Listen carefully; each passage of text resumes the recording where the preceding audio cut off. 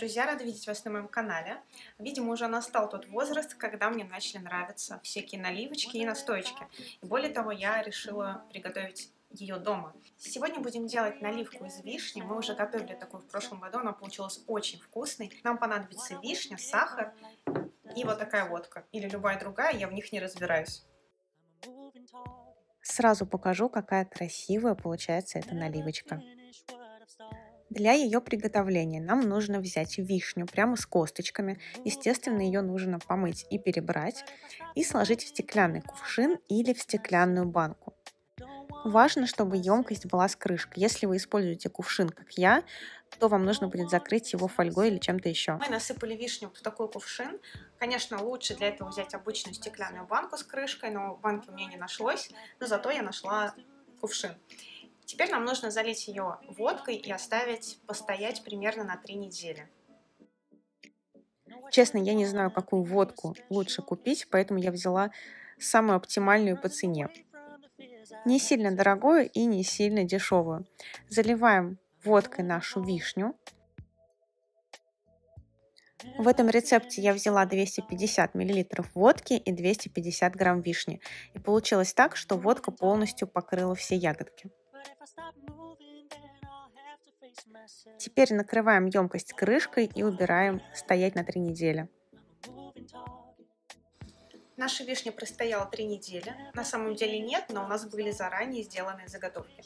И теперь нам нужно слить с вишни спирт, его не выливать, а оставить, а вишню засыпать сахаром. И снова поставить настаиваться на три недели. Аккуратно сливаем вишневую водку Получается, что мы отделяем водку и вишню. Нам понадобится и то, и другое, поэтому ничего, пожалуйста, не выбрасывайте. Водку наливаем в какую-нибудь емкость и убираем, она нам пока не понадобится. Вишню перекладываем обратно в банку и засыпаем сахаром.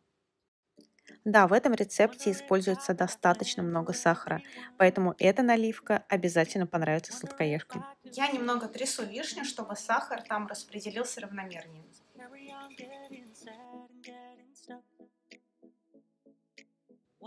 Вишню снова убираем на полочку и оставляем на 3 недели. Можно даже и подольше. Мне кажется, у меня стояло примерно месяц. Через нужное время вишня будет выглядеть вот так. Теперь нам нужно соединить вишневый сироп. Мы засыпали вишню сахаром и оставляли на 3 недели. С водкой. Мы заливали вишню водкой и тоже оставляли на 3 недели. Берем какую-нибудь удобную емкость и соединяем в ней нашу вишневую водку с первой настойки с вишневым сиропом, который получился после второй настойки.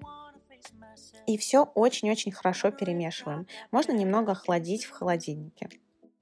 Ну что, наша наливочка готова, нам осталось только разлить ее по бокалам.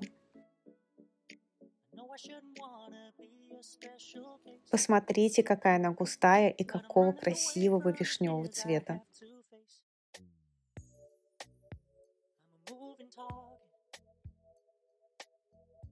Очень вкусно.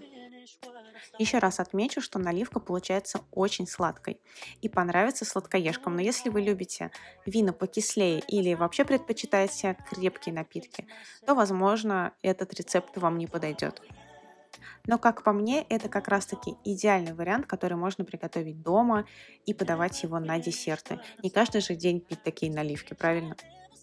А еще эту наливку можно готовить с любыми ягодами. Пожалуйста, экспериментируйте.